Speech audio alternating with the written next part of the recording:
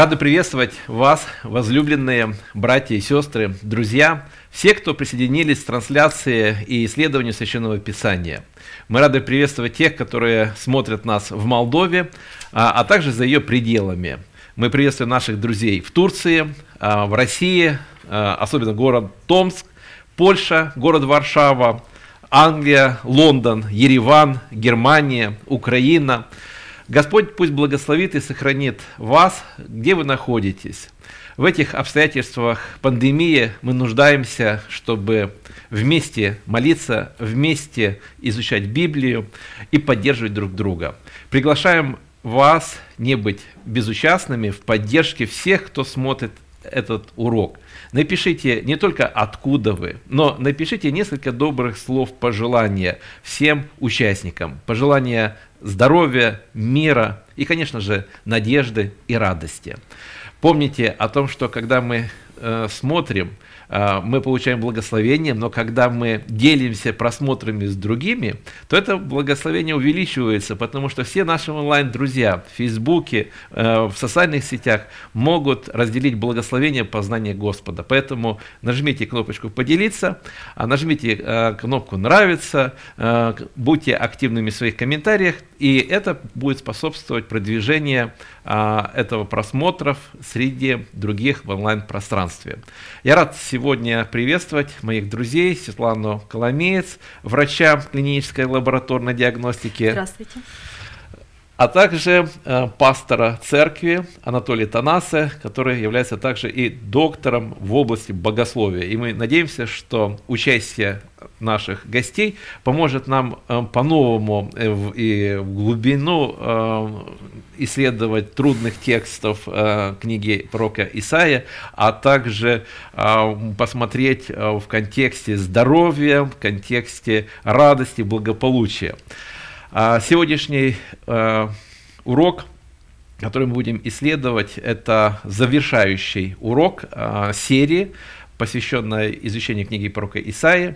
И прежде чем мы э, откроем, начнем читать, хотел пригласить, чтобы мы вместе молились mm-hmm. о наших друзьях. Кто-то из них находится сегодня в больнице, кто-то в реанимации.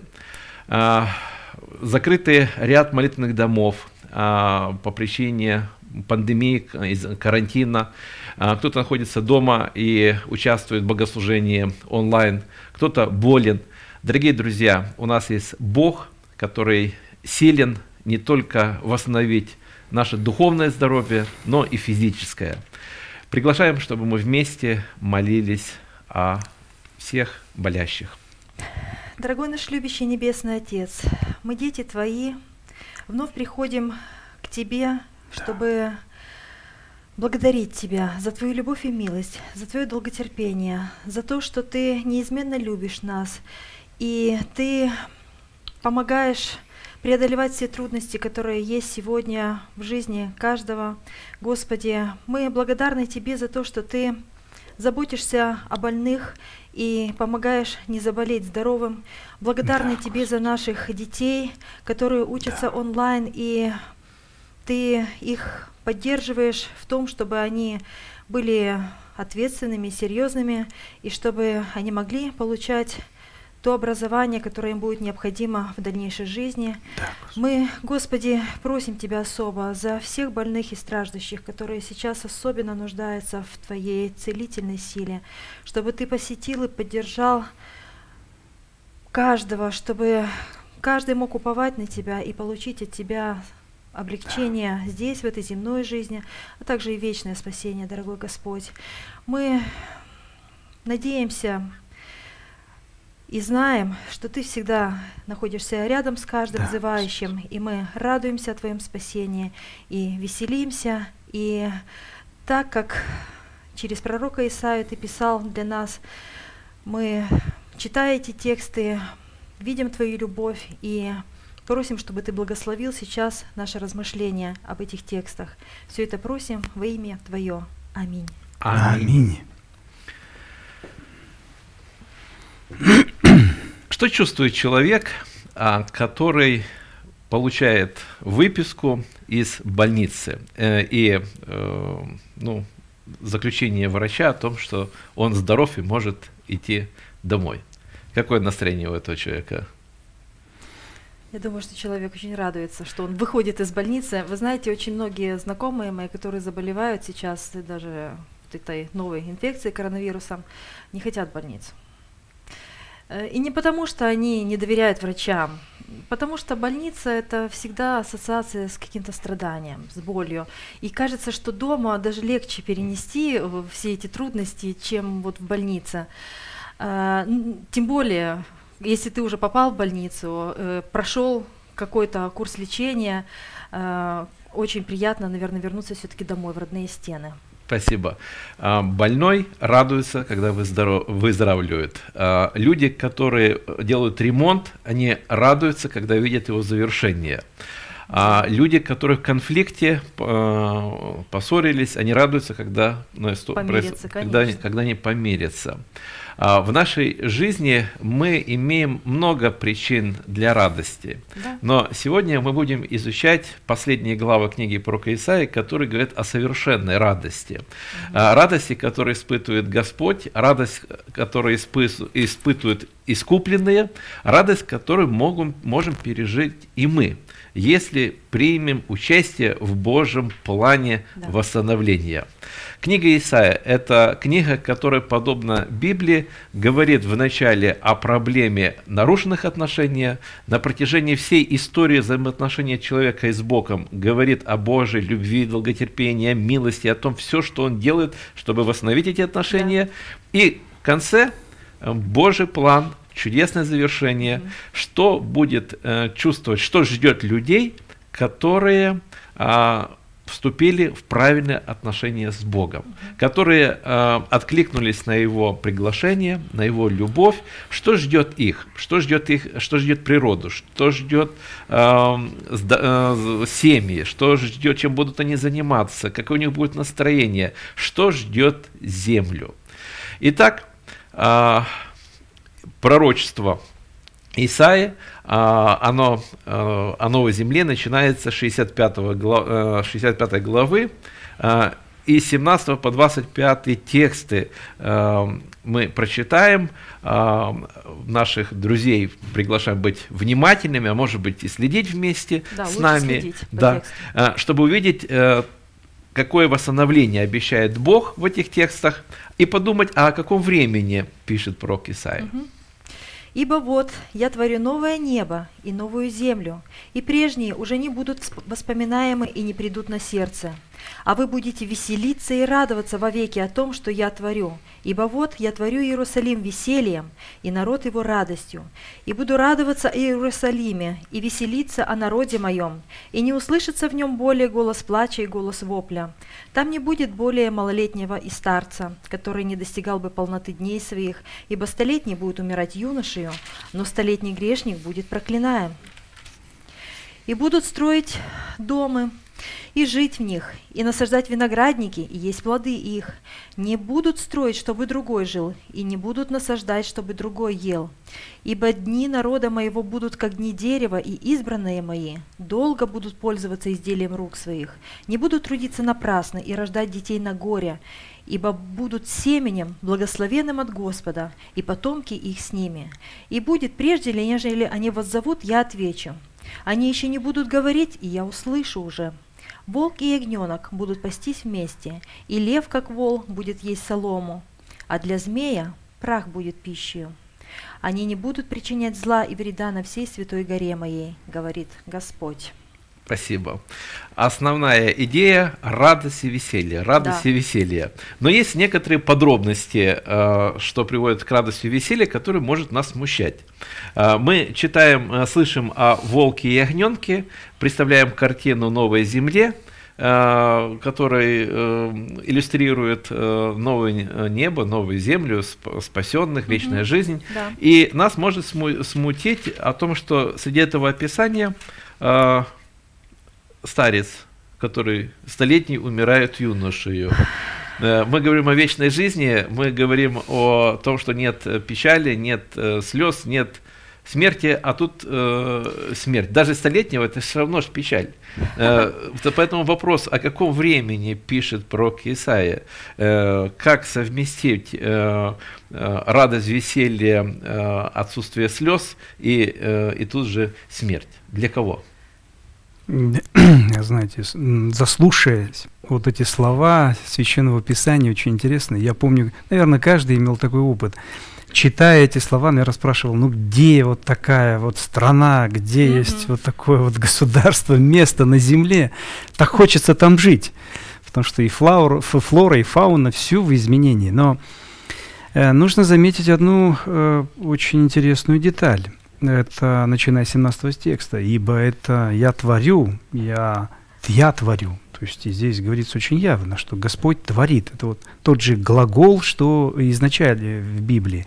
То есть бара, то есть творю из ничего. Новое небо и новая земля. И здесь нужно понять, что здесь говорится о новой земле, о новом небе. Но как это так? Каким это образом, что старик умрет как молодой? Ну, разве смерти должно быть? Э, нет, конечно же.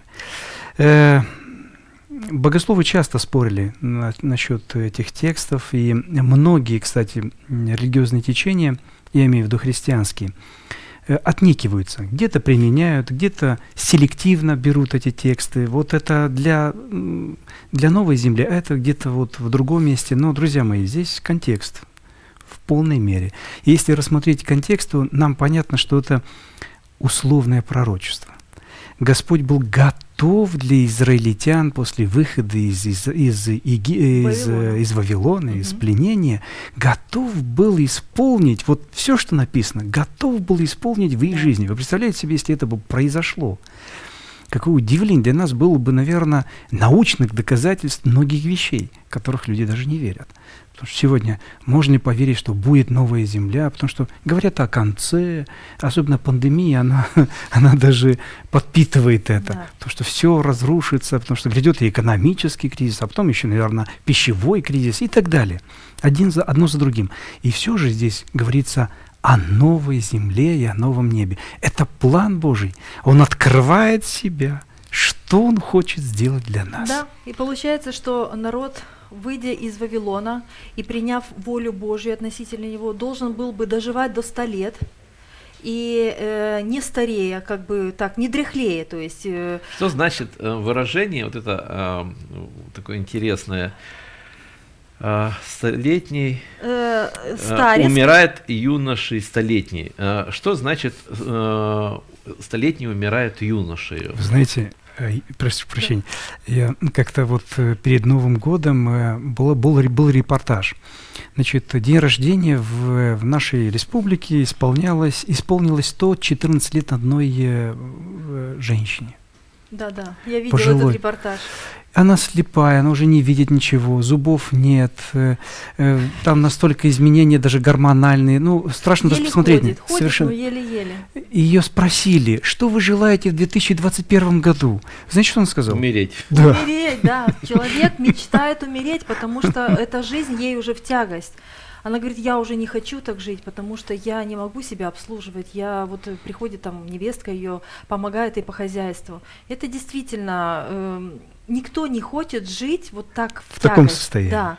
То есть э, мы все хотим э, жить долго, но чтобы это была активная, продуктивная жизнь. И вот, наверное, все наши э, советы санитарной реформы, они направлены на то, чтобы вот сохранить именно активную такую жизнь до, до 100 лет, почему? До 120 лет, как написано, да?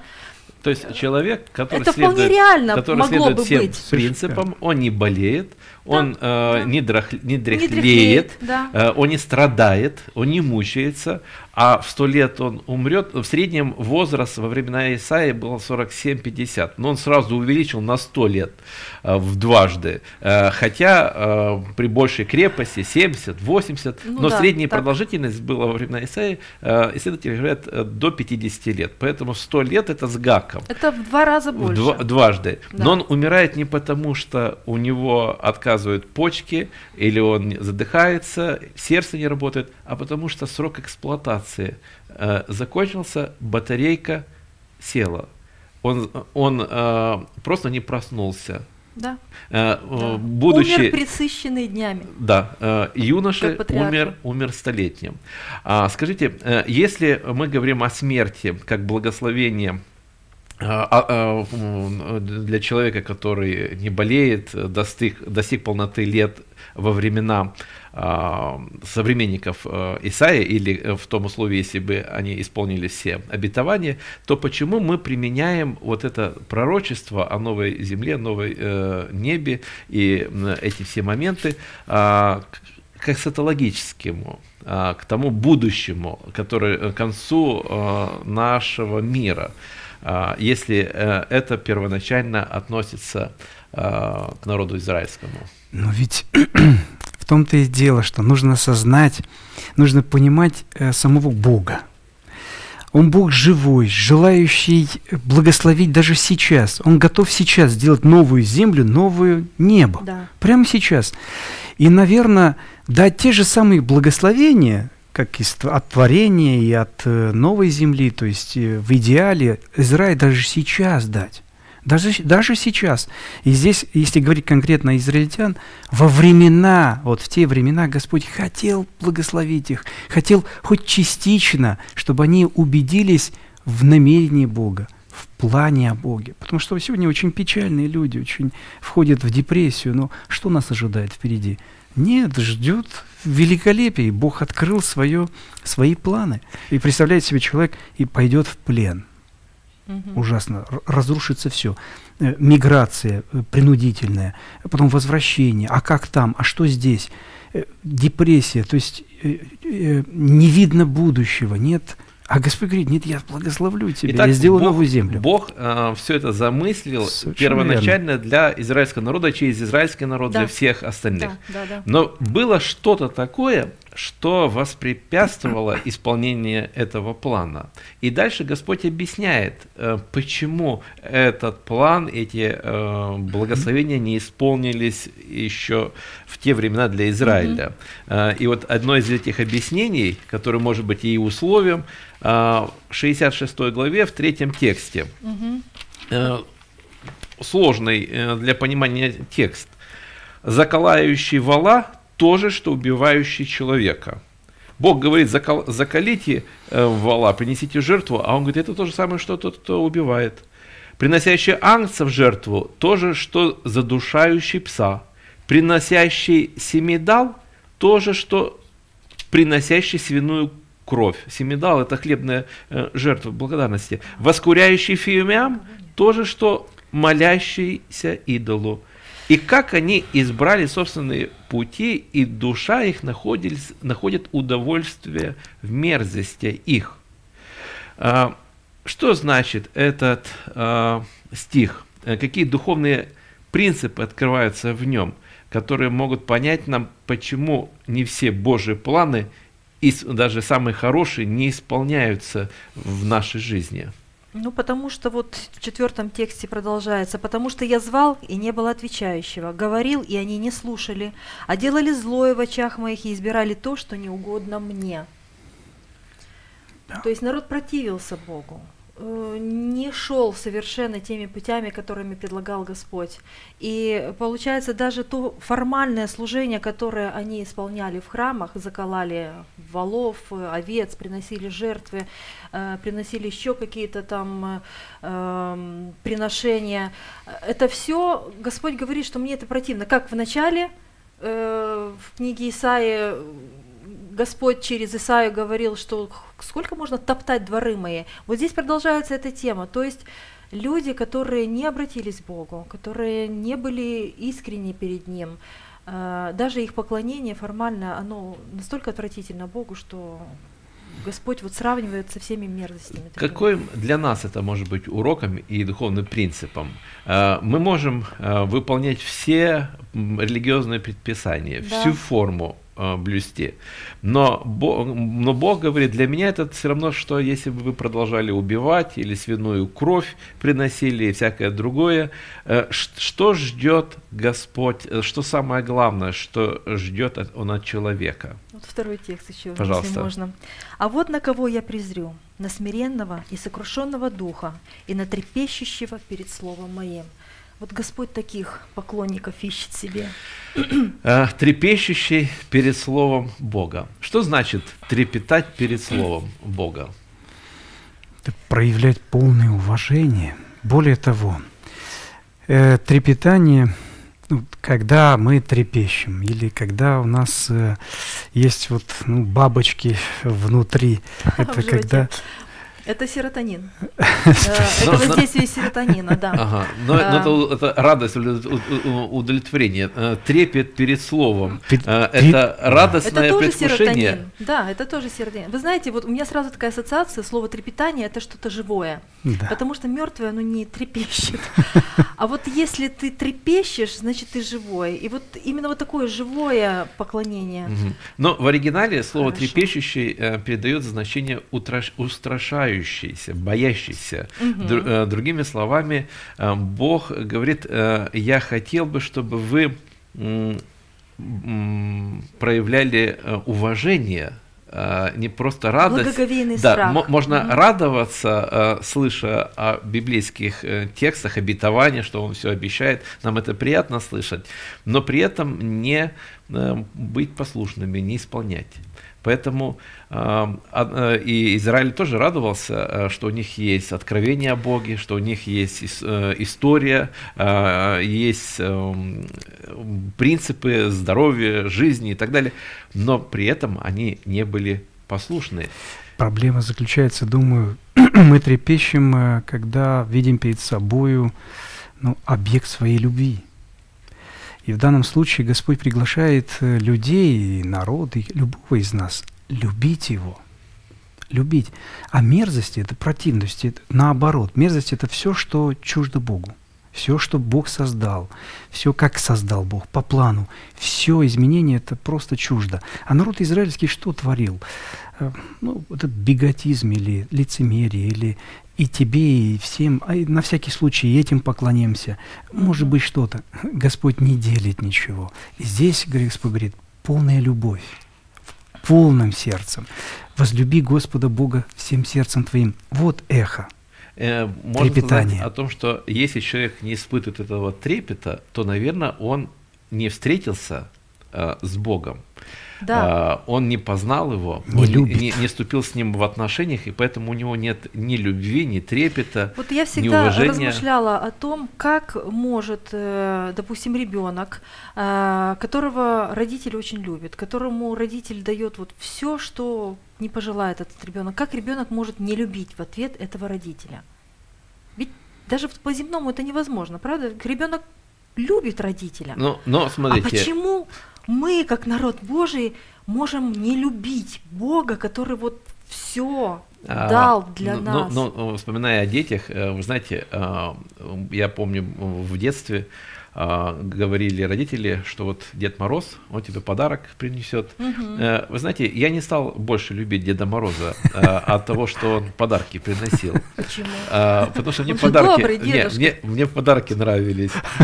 А дедушка не А он, нравился. а он приходил ночью, когда я спал. Ага, А, то есть да, я, его не знаю. Я его не знаю. Понятно. Я его не знаю. В этом я, есть да, что-то. Я утром только подарки находил, но я его не знал.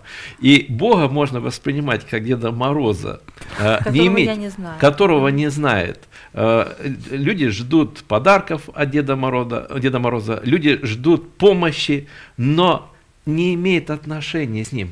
Ну вот в этом и трудность, потому Не что Бога не видел отношений. никто никогда. Да. Бога нельзя вот так вот прям как бы вживую пощупать, Мо- как будто можно, бы. да, можно, э, можно э, стишки рассказывать у елочки, можно соблюдать принципы, можно молиться, но если ты не ощущаешь его э, присутствие в своей жизни, если ты не имеешь близких, тесных контактов, то это все та формальность, о которой Бог говорит, напрасно вы все это делаете. Какой смысл в этой религии, если ты все это делаешь, но при этом не имеешь близких, тесных отношений. И, наверное, эти отношения потерял человек а, Адам с Евой, э, с, с Богом. Эти отношения по- по- потеряли израильтяне. Мы становимся потребители. Нам нужен Бог только когда нам, ну, мы ждем подарок. Все остальное год мы не вспоминаем о Деде Морозе. Нам он нужен только когда мы ждем подарок. Но А. видите, мы хотим хорошо, Э, но и обязанности Вроде избегаем. бы да, но подарков мы ждем, мы нуждаемся в подарках Божьих каждый день. Конечно. И вот если бы мы это, наверное, в полной мере осознавали, что вообще вся жизнь наша это подарок Бога. Как, как Бог э, строит отношения, э, как Он э, притягивает людей к себе, какой у Него план, чтобы притянуть людей к себе, чтобы люди хотели не только подарков, но хотели отношений.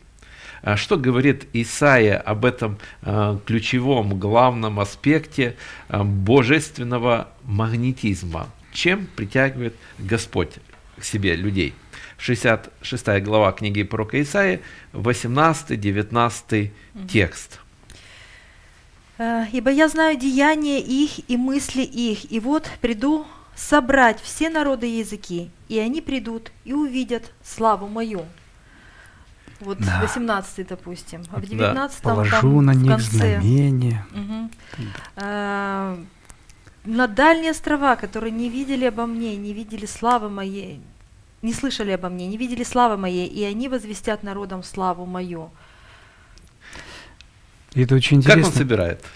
Ну, Как он притягивает народы? Чем?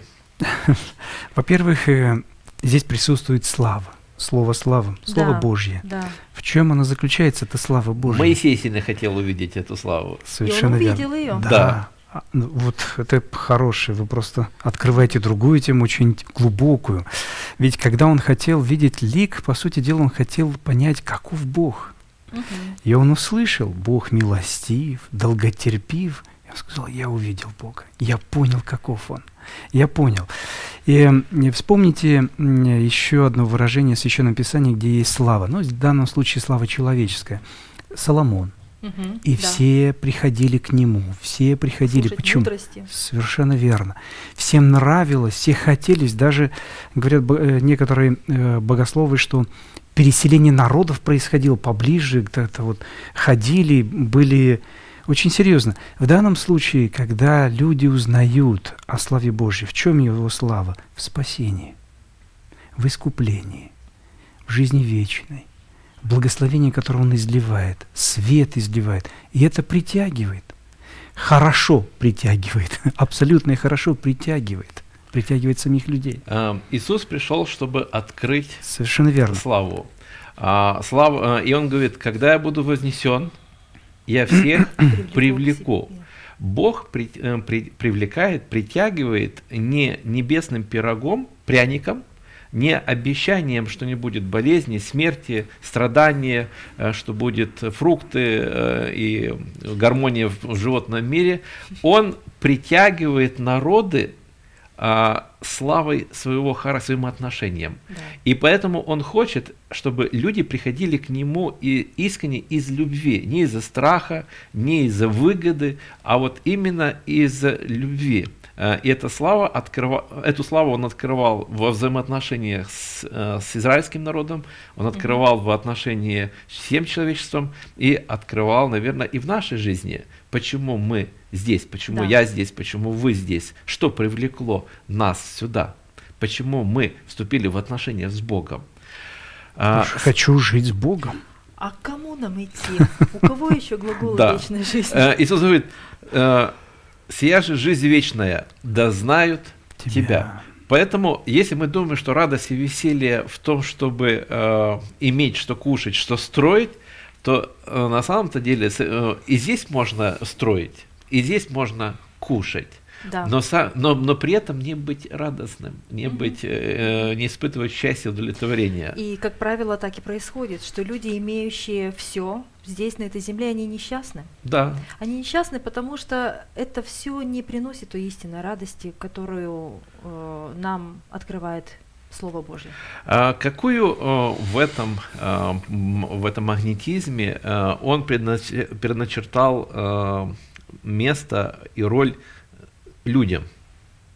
Он говорит, положу на них знамение и пошлю их, спасенных Э, э, от да. них к народам. Да. То есть он кого-то привлекает, создает сообщество, создает эту команду, а потом посылает и тут во все концы, и крайний север, и крайний юг, и запад, и восток, на дальние острова. Э, Исаия уже не знал э, э, название, назва, название этих дальних и дальних, то есть до края, до края земли. Другими По, словами. Да. да, пошлю их до края земли. Да, сразу К... Пятидесятница на ум приходит. Да, кого пошлет? Для чего пошлет? И с какой целью пошлет? Э, пошлет, чтобы открыть вот эту славу Божью всем, всем, всем народам, всем языкам, и чтобы эти народы, они э, были принесены Богу как бы как в дар, вот что эти люди полюбили Бога и приняли это 20 стих. И 20, да. Э... И представить всех братьев ваших от всех народов в дар Господу. То есть э, это команда спасателей, идут, э, провозглашают славу, э, они э, приводят других людей к источнику спасения Господу, радуется Господь и радуются эти люди. Что является самой большой радостью для тех, кто приносит этот дар своих братьев? Ну, видите, намерение Божие – это о всех людях – не только израильтян. И здесь открывается, по сути дела, план Божий – спасти всех.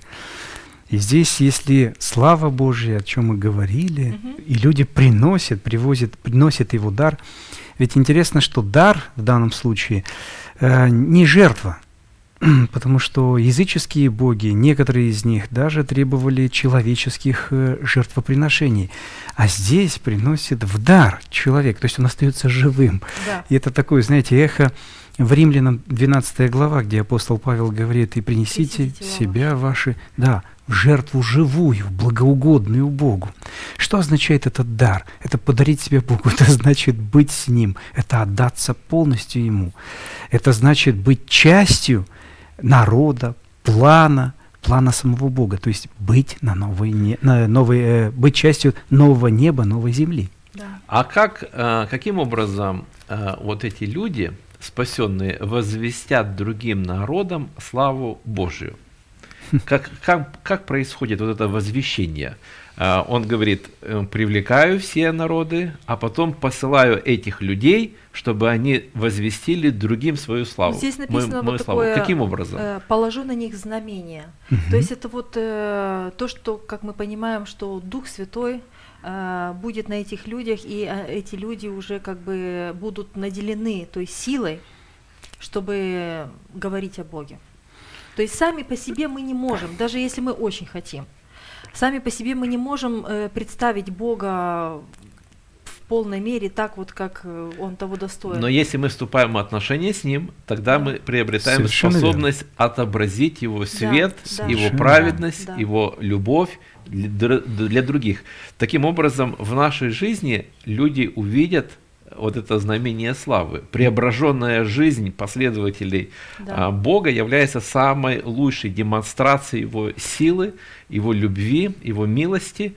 И это э, приводит к тому, что э, этот свет славы распространяется и распространяется, и это является, становится источником счастья и радости не только для Бога, который смотрит э, на подвиг души с удовлетворением, да. но и для тех, кто вместе участвует с ним в этом. участвует в этом. Да. А, в нашей жизни э, есть много вещей, которые, о которых мы мечтаем, э, и будем радоваться, если это исполнится. Кто-то мечтает о здоровье, кто-то о счастливой семье, кто-то о своем доме, безопасности, о уголке, где ты можешь отдохнуть.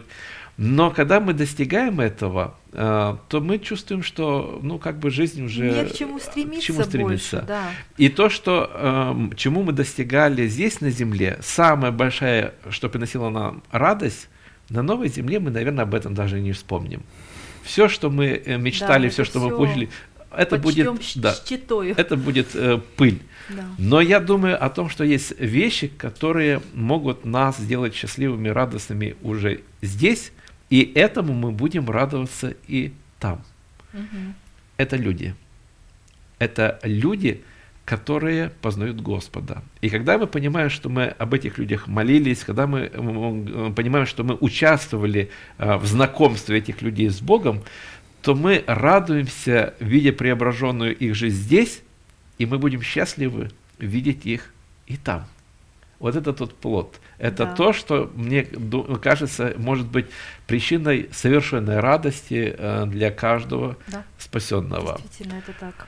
А, вопрос у некоторых э, возникает – какое а, мое место в этом Божьем плане. Кто-то говорит, да не важно, кем я там буду на новой э, земле, хотя бы дворником у ворот э, центральных, может быть даже там боковых, да, да, да, подметать Запад, улицы. да, золотые, да. Главное, чтобы быть там рядышком. Какое Божьем замысле э, место для каждого искупленного. Есть ли какая-то э, градация, вот это там, э, вот это священство, а это там где-то служащие у ворот? Какой Божий план? 21 стих. 21 стих очень интересен.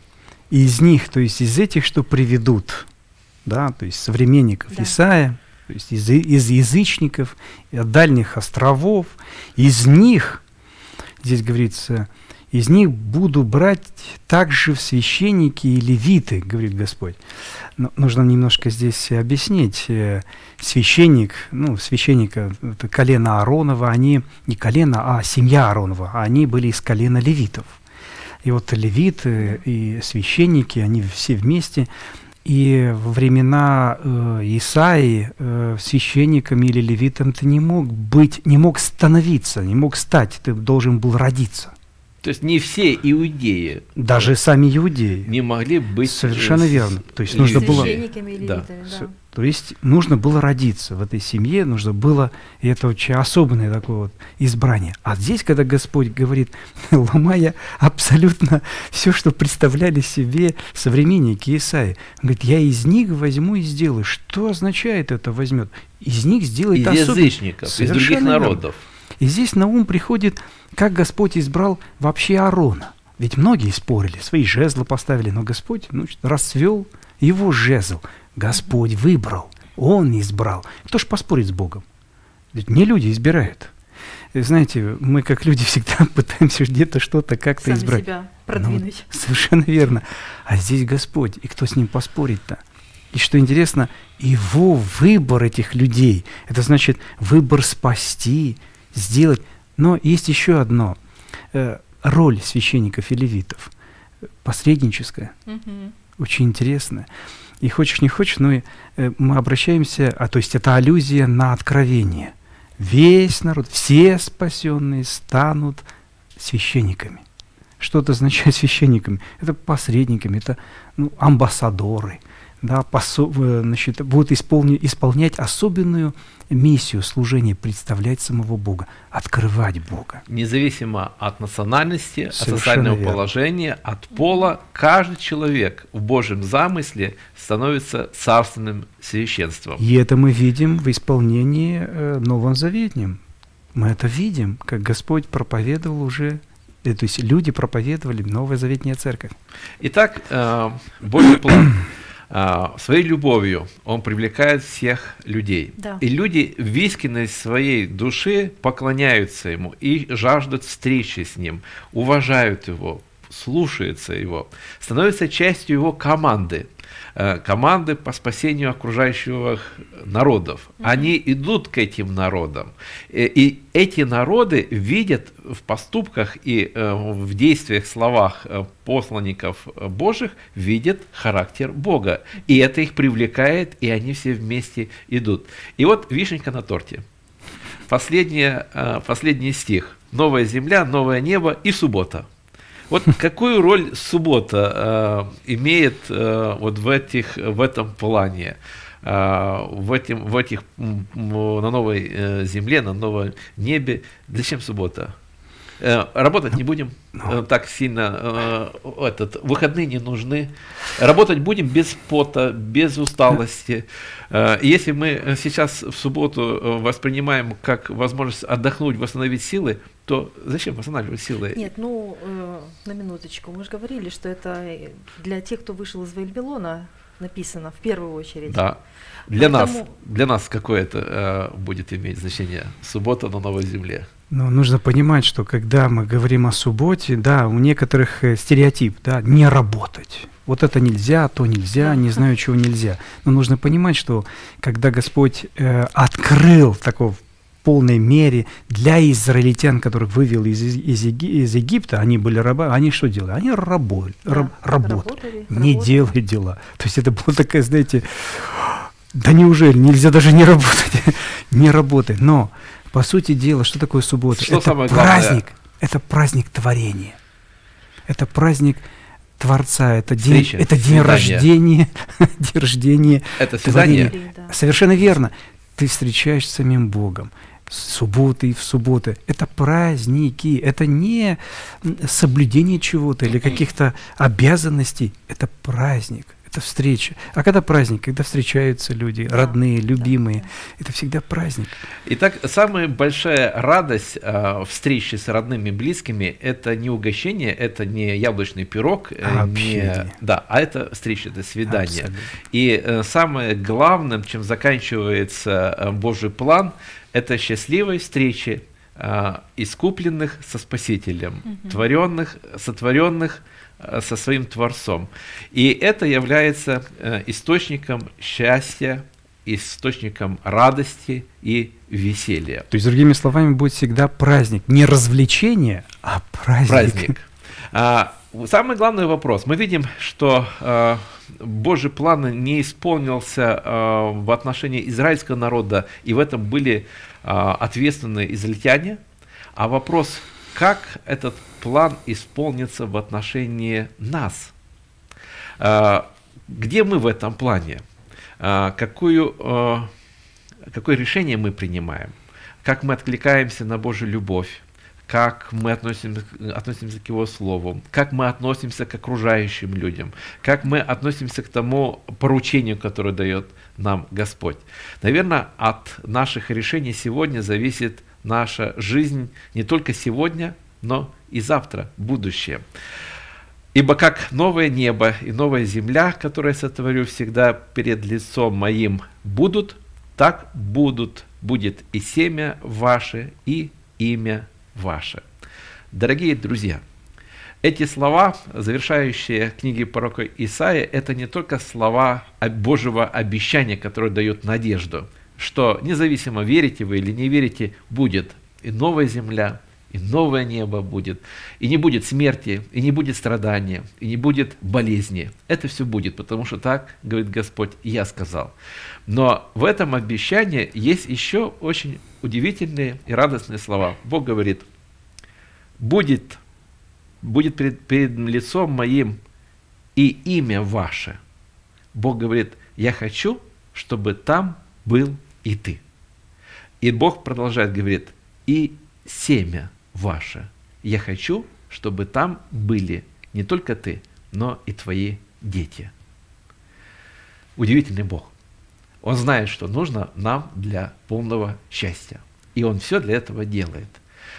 Давайте не будем Ему в этом препятствовать, а объединимся в том, чтобы этот план осуществился в жизни нашей, в жизни наших родных, наших близких и наших детей. И тогда не только Божие, не только Бог будет радоваться, но будем рады и счастливы и мы.